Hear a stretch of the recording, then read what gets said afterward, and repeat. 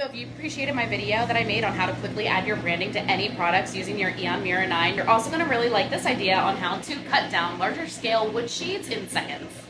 First, grab your key and go ahead and unlock the front door on your laser machine and put it down. This will allow the larger sheets of wood to lay on your bed. Next, I measured the length that I wanted my wood approximately at the 36 inch mark and made a couple pencil marks going across. Put the wood into your laser bed and then over here at the panel where your branding should be saved, you can also save really quick cuts. My most common ones are 12, 30, 8, 18, 24, and so on. I use the Lightburn software and send all of my line cuts from Lightburn itself to the laser to store on there. I just don't delete the file. Because the wood is 24 inches wide, I'm going to select it and then jog the laser head to where I made my pencil marks. Saved, always frame out to make sure that you have the right size.